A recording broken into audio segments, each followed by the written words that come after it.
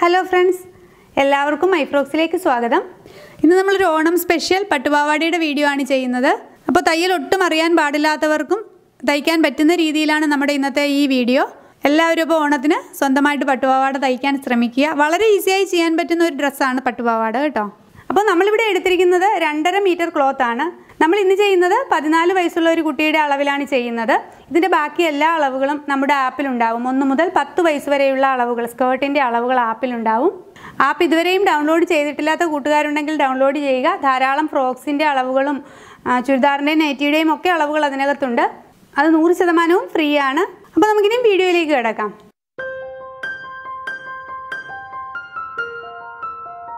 ഞാനിവിടെ രണ്ടര metre cloth ആണ് എടുത്തിരിക്കുന്നത്. ഇതിന്റെ താഴെയും മുകളിലും ബോർഡർ വരുന്ന രീതിയിലുള്ള ക്ലോത്ത് ആണ്. അപ്പോൾ നമ്മൾ ആദ്യം ഞാൻ ഇതിന്റെ മെഷർമെന്റ് ഒന്ന് പറയാം. അപ്പോൾ ഈ ക്ലോത്ത് എങ്ങനെയാണ് രണ്ടര മീറ്റർ ക്ലോത്ത് എടുക്കേണ്ടത്? അല്ലെങ്കിൽ എത്ര വിട്ടിലാണ് നമ്മൾ ക്ലോത്ത് എടുക്കേണ്ടത് എന്നുള്ളൊരു കൺഫ്യൂഷൻ വരും. നമ്മുടെ ഹിപ്പ് സൈസിന്റെ നിങ്ങളുടെ ഹിപ്പ് സൈസ് എത്രയാണോ അതിന്റെ മൂന്നിരട്ടിയെങ്കിലും മിനിമം വീതിയിൽ തുണി എടുക്കുക. അതായത് നിങ്ങളുടെ ഹിപ്പ് സൈസ് ഒരു മുപ്പത് ഇഞ്ചാണ് വരുന്നതെങ്കിൽ തൊണ്ണൂറ് ഇഞ്ച് വീതിയിൽ വേണം നിങ്ങൾ ക്ലോത്ത് എടുക്കാനായിട്ട്. അങ്ങനെയാണ് ക്ലോത്തിന്റെ വിട്ട് കാൽക്കുലേറ്റ് ചെയ്യുന്നത്. ഓക്കെ ലെങ്ത് നമ്മൾ എപ്പോഴും ഇതുപോലെ താഴെ നിന്നും താഴെ നിന്നും മുകളിലേക്കാണ് കാൽക്കുലേറ്റ് ചെയ്യേണ്ടത്. കാരണം താഴെയാണ് ബോർഡർ വരുന്നത്. എന്നിട്ട് മുകളിൽ മുകളിലത്തെ ഭാഗം നമ്മൾ ലെങ്ത് ആവശ്യത്തിന് എടുത്തിട്ട് കട്ട് ചെയ്ത് മാറ്റുകയാണ് ചെയ്യുന്നത്. അതല്ല ലെങ്ത് ഫുള്ള് വേണം എന്നുള്ളവരാണെങ്കിൽ ഫുൾ ലെങ്തും എടുക്കുക. നമ്മളിവിടെ ഈ ടോട്ടൽ ക്ലോത്തിനെ കണ്ടോ ഇത് ഇത്രയുമാണ് വരുന്നത്. ഇതിനെ നമ്മൾ കൃത്യം നാലായിട്ട് ഇങ്ങനെ മടക്കിയിടുന്നു. ഓക്കെ അപ്പോൾ ഞാനിവിടെ ഹിപ് സൈസിന്റെ നേരെ മൂന്നിരട്ടി ക്ലോത്ത് തന്നെയാണ് എടുത്തിരിക്കുന്നത്.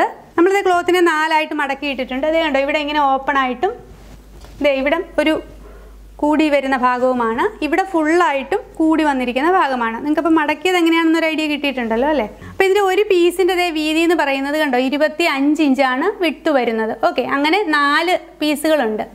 അപ്പോൾ ഇത് നൂറിഞ്ച് വിട്ട് വരുന്ന ക്ലോത്താണ് അപ്പോൾ എനിക്ക് ഞാനിവിടെ എടുക്കുന്ന ഹിപ് സൈസ് എന്ന് പറയുന്നത് മുപ്പത്തി മൂന്ന് ഇഞ്ചാണ്. ഇരുപത്തി ഒൻപത് ഇഞ്ചാണ് നമ്മൾ മെഷർ ചെയ്യുന്ന ഹിപ് സൈസ് അതിന്റെ കൂടെ നാലിഞ്ച് കൂടി സീം അലവൻസും ലൂസും ഒക്കെ കൂടി ആഡ് ചെയ്ത് മുപ്പത്തി മൂന്ന് ഇഞ്ചാണ് എടുക്കേണ്ടത്. അപ്പോൾ ആ മുപ്പത്തി മൂന്ന് ഇന്റു മൂന്ന് ഏകദേശം നയന്റി നയൻ തൊണ്ണൂറ്റി ഒൻപത് ഇഞ്ചാണ് വരേണ്ടത്. ഇപ്പം അത്രയും തന്നെയാണ് ക്ലോത്ത് വന്നിരിക്കുന്നത്. ഓക്കെ പിന്നെ എനിക്ക് ഇത്രയും ഫുൾ ലെങ്ത് വേണ്ട എന്നുള്ളത് കൊണ്ട് എനിക്ക് ഈ ഭാഗത്ത് നിന്നും മുകളിൽ വെക്കാനുള്ള ബെൽറ്റിനുള്ള ക്ലോത്ത് കിട്ടും. അപ്പോൾ നിങ്ങൾക്ക് അങ്ങനെയല്ല ഇതിന്റെ ഫുൾ ലെങ്തും വേണം എന്നുള്ളവരാണെങ്കിൽ നിങ്ങൾ അതനുസരിച്ച് ഒരു അര മീറ്റർ ക്ലോത്ത് കൂടി അര മീറ്ററോ കാൽ മീറ്ററോ ക്ലോത്ത് കൂടി എക്സ്ട്രാ എടുത്തുകൊള്ളുക അപ്പോൾ ഇനി അടുത്തതായിട്ട് നമ്മൾ മെഷർ ചെയ്യേണ്ടത് ഇതിന്റെ ലെങ്ത് ആണ്. അപ്പോൾ എനിക്ക് വേണ്ട ലെങ്ത് നാൽപ്പത് ഇഞ്ചാണ് നമ്മളെപ്പോഴും ലെങ്ത് താഴെ നിന്നും ബോർഡർ ഉള്ള ക്ലോത്ത് ആകുമ്പോൾ താഴെ നിന്നും മുകളിലേക്ക് വേണം മെഷർ ചെയ്യാനായിട്ട്. ഓക്കെ അപ്പോൾ ഈ നാൽപ്പത് ഇഞ്ചിൽ ഒന്നര ഇഞ്ച് മുകളിലത്തെ ബെൽറ്റിനായിട്ട് പോകും.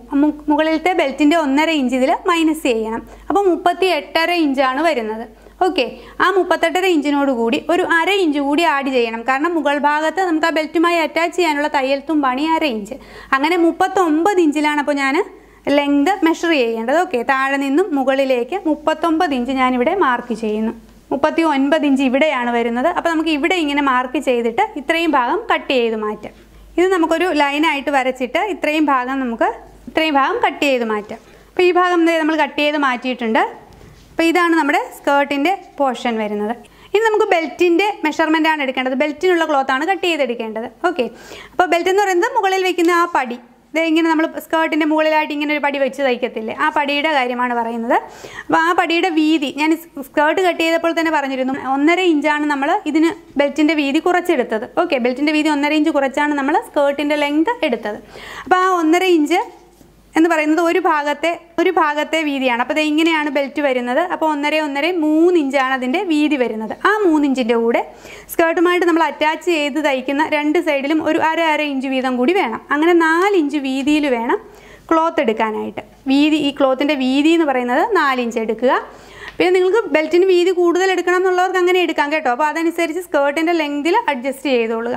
നാലിഞ്ച് വീതിയും പിന്നെ ഇതിന്റെ ഈ വട്ടത്തിൽ വരുന്ന ആ ലെങ്ത് അതായത് നമ്മുടെ ഹിപ്പ് മെഷർമെന്റ് എന്ന് പറയുന്ന ആ ഭാഗം. ഹിപ്പ് മെഷർമെന്റ് ഞാനിവിടെ എടുത്തിരിക്കുന്നത് ഇരുപത്തി ഒമ്പത് ഇഞ്ചാണ്. അതിന്റെ കൂടെ ഒരു നാലിഞ്ച് കൂടി ആഡ് ചെയ്ത് മുപ്പത്തി മൂന്ന് ഇഞ്ചാണ് എനിക്ക് വരേണ്ടത്. ഈ ലെങ്ത് എന്ന് പറയുന്ന പാവാടയുടെ ആ വട്ടത്തിൽ വരുന്ന ആ ഭാഗം. രണ്ട് സൈഡും മടക്കി തയ്ക്കാനായിട്ടൊക്കെ കുറച്ച് സീമലവൻസ് കുറച്ച് തയ്യൽ തുമ്പ് വേണം. അതാണ് നാലിഞ്ച് എക്സ്ട്രാ എടുക്കുന്നത്. അപ്പോൾ ഞാനിവിടെ മുപ്പത്തി മൂന്ന് ഇഞ്ചിലാണ് മുപ്പത്തി മൂന്ന് ഇഞ്ച് ലെങ്തിലാണ് ഇത് കട്ട് ചെയ്തെടുക്കേണ്ടത്. ഓക്കെ അപ്പോൾ അതിന്റെ ഒരു ഇങ്ങനെ രണ്ടായിട്ട് മടക്കി വെക്കുകയാണെങ്കിൽ ദേ ഇത്രയും. അതായത് ഒരു പീ ഇത് പതിനാറര എടുത്തിട്ടുണ്ട് ഇത്രയും. അപ്പോൾ ഇത്രയും കൂടെ ഇവിടം കൂടെ ആകുമ്പോൾ കറക്റ്റ് മുപ്പത്തി മൂന്ന് ഇഞ്ച്. ഇത്രയും ലെങ്തിലാണ് എടുക്കേണ്ടത്. വിട്ട് വന്നിട്ട് നാലിഞ്ച്. കട്ട് ചെയ്ത് എടുക്കുക. ഇനി നമ്മൾ സ്കേർട്ടിന്റെ ക്ലോത്തിന്റെ ഒരറ്റത്ത്. ഓക്കെ രണ്ട് സൈഡ് ഉണ്ട്. ഇങ്ങേ അറ്റവും ഉണ്ട്. ഇങ്ങനെ ഇതേ രണ്ട് അറ്റങ്ങളാണല്ലോ ഉള്ളത്. രണ്ടറ്റവും. ഇത് ഇതേപോലെ തന്നെ രണ്ടറ്റവും ചെയ്യേണ്ടതാണ്. ദേ ഇത് ഇങ്ങനെ വരുന്നതാണ്. ഓക്കെ അപ്പോൾ ഇതിന്റെ ഈ ഭാഗം ഒന്ന് ചെറുതായിട്ട് ഒരു കാലിഞ്ച് മതി കേട്ടോ. കാലിഞ്ച് ഇതുപോലെ ഡബിൾ ഫോൾഡ് കൊടുത്ത്.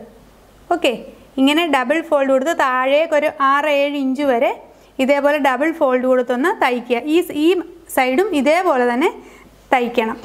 ഇതിങ്ങനെ ഫുള്ളായിട്ട് തയ്ച്ചാലും കുഴപ്പമൊന്നുമില്ല. ഇത് ഈ തുണി ഇങ്ങനെ ഇവിടെ നമ്മൾ അല്പം ഓപ്പൺ ആയിട്ട് ഇടും സ്റ്റിച്ച് ചെയ്ത് കഴിയുമ്പോൾ പാവാടയുടെ ഒരു സൈഡ് ഓപ്പൺ ആയിട്ട് ഇടുമല്ലോ അതിന് വേണ്ടിയിട്ടാണ് ഇവിടെ ആദ്യമേ തന്നെ തയ്ക്കാൻ പറഞ്ഞത്. അതിന് ശേഷമാണ് നമ്മൾ പ്ലീറ്റ്സ് കൊടുത്ത് തുടങ്ങുന്നത്. ഇനി അടുത്തടുത്ത് നമ്മളിവിടെ സ്കേർട്ടിന് കട്ട് ചെയ്ത് വെച്ചിരിക്കുന്ന ക്ലോത്ത് എടുക്കുക. എന്നിട്ട് ക്ലോത്തിന്റെ മുകൾ ഭാഗം അടിഭാഗം ഇതാണ് ബോർഡർ വരുന്ന പോർഷനാണ് ഓക്കെ ഇത് മുകൾ ഭാഗമാണ്. നമ്മുടെ ഹിപ്പ് പോർഷനിൽ വരുന്ന പ്ലീറ്റ്സ് എടുക്കേണ്ട പോർഷൻ അതിങ്ങനെ ഒരു പീസാക്കി എടുക്കുക. ഇവിടെ നിന്നും ഒരു ഒന്നര ഇഞ്ച് ഈ ഭാഗത്ത് നിന്നും ഒരു ഒന്നര ഇഞ്ച് ദേ നമ്മളിവിടെ ഇങ്ങനെ ഒന്ന് മാർക്ക് ചെയ്യുക. സീം അലവൻസ് ആയിട്ട് കൊടുക്കാൻ വേണ്ടിയിട്ടാണ്. അതിനുശേഷം നമ്മളിത് ഇങ്ങോട്ടേക്ക് രണ്ടര ഇഞ്ച് വീതമുള്ള ഓക്കെ രണ്ടര ഇഞ്ച് വീതം ഞാൻ ദേ ഇങ്ങനെ മാർക്ക് ചെയ്ത് പോവുകയാണ്.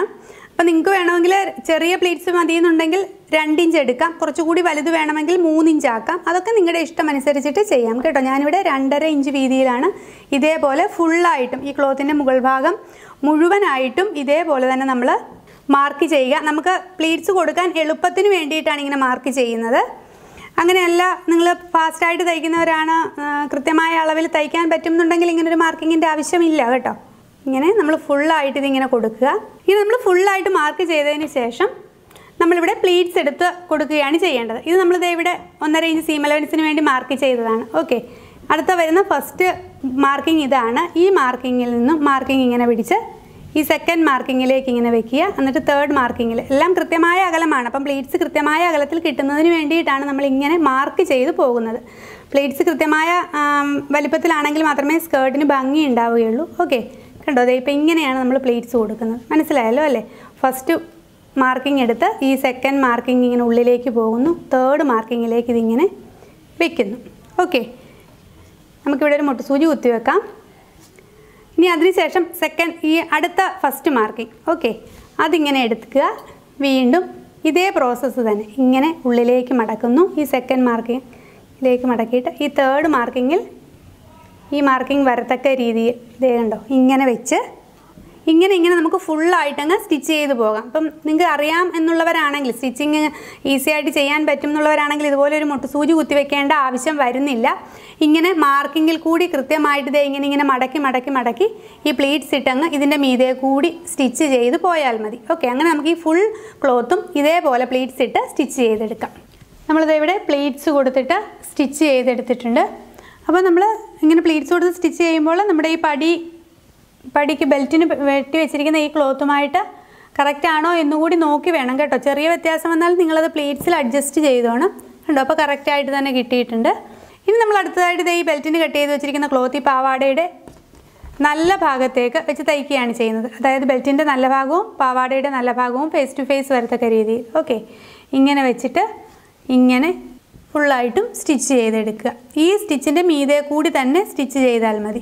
ഓക്കെ അപ്പോൾ അതിന് മുമ്പായിട്ട് ബെൽറ്റിന്റെ ഈ ഭാഗം ഈ രണ്ട് സൈഡ് ഉണ്ടല്ലോ ഈ രണ്ട് സൈഡും ഒരല്പം ദേ ഇങ്ങനെ മടക്കി അതിനാണ് നമ്മൾ അല്പം തുണി കൂടുതലെടുത്ത് ഇങ്ങനെ മടക്കി തയ്ച്ചിട്ട് വേണം ഇതിലേക്ക് വെച്ച് അറ്റാച്ച് ചെയ്യാനായിട്ട്. അപ്പം നമ്മളിവിടുത്തെ ആ ബെൽറ്റ് വെച്ച് സ്റ്റിച്ച് ചെയ്തിട്ടുണ്ട്. അപ്പോൾ ഇതാദ്യം പ്ലീറ്റ്സ് എടുക്കാൻ സ്റ്റിച്ച് ചെയ്ത് അതിന്റെ കൃത്യം ചേർത്ത് തന്നെയാണ് നമ്മൾ ഈ സ്റ്റിച്ചും കൊടുത്തിരിക്കുന്നത് കേട്ടോ. ഇങ്ങനെ സ്റ്റിച്ച് ചെയ്തിട്ടുണ്ട്. അപ്പോൾ ഇതിന്റെ അതേ സൈഡിൽ എഡ്ജിൽ വന്നപ്പോൾ ശ്രദ്ധിച്ചോണം എഡ്ജിൽ കണ്ടോ ഈ ഭാഗം മടക്കി തയ്ക്കാൻ ഞാൻ പറഞ്ഞിരുന്നല്ലോ. അത് ഈ നൂലിങ്ങനെ എഴുന്നു പോവാതിരിക്കാൻ വേണ്ടിയിട്ടാണ്. എന്നിട്ട് ഈ തുണി ഇതേ ഇങ്ങനെ ബെൽറ്റിന്റെ ഈ ക്ലോത്ത് ഇതേ ഇങ്ങനെ വെച്ചിട്ടാണ് നമ്മൾ സ്റ്റിച്ച് ചെയ്തിരിക്കുന്നത്. ഓക്കെ രണ്ട് സൈഡിലും അതുപോലെ തന്നെ ആ എക്സ്ട്രാ ക്ലോത്ത് ഉള്ളിലേക്ക് മടക്കി കണ്ടോ? ഈ എക്സ്ട്രാ ക്ലോത്ത് ഇങ്ങനെ ഉള്ളിലേക്ക് മടക്കി വെച്ചിട്ടാണ് ഇങ്ങനെ സ്റ്റിച്ച് ചെയ്ത് പോയിരിക്കുന്നത്. മനസ്സിലായല്ലോ അല്ലേ? ഇങ്ങനെ മടക്കിയിട്ടാണ് പോയിരിക്കുന്നത്. ഇനി നമ്മളിത് ഈ ഭാഗം ഇങ്ങനെ അങ്ങ് നിവർത്തി വിടർത്തി എടുത്തു കഴിയുമ്പോൾ ഇവിടെ നല്ല പെർഫെക്റ്റ് ആയിട്ട് തന്നെ ഇരിക്കും. രണ്ട് സൈഡും ഇതുപോലെ തന്നെ എടുക്കുക. അതിനുശേഷം ഇവിടെ ഞാൻ അതുപോലെ തന്നെ ഒരു കാര്യം കൂടി പ്ലീറ്റ്സ് വെച്ചിട്ട് ഇങ്ങനെ കുറച്ചൊരു സ്റ്റിച്ച് കൊടുത്തിട്ടുണ്ട്. പ്ലീറ്റ്സ് കൃത്യമായിട്ടിരിക്കാൻ ഇങ്ങനെ കൊടുക്കണം എന്നില്ല കേട്ടോ. ഞാനിപ്പോൾ ഇത് ചെയ്തു എന്നേ ഉള്ളൂ. നോർമലി അങ്ങനെ ചെയ്യാറില്ല. പിന്നെ അയൺ ചെയ്യുമ്പോഴൊക്കെ നമുക്ക് കുറച്ചുകൂടി എളുപ്പമുണ്ട് ഇങ്ങനെ ചെയ്യുമ്പോൾ. അതിന് വേണ്ടിയിട്ടൊന്ന് കൊടുത്തു എന്നേ ഉള്ളൂ.